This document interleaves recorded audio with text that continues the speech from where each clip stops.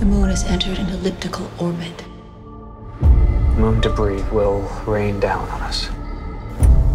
How much time left? Exactly 28 minutes.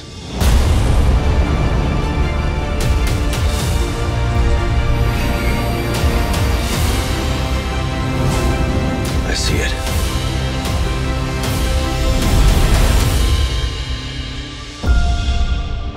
See Moonfall only in cinemas.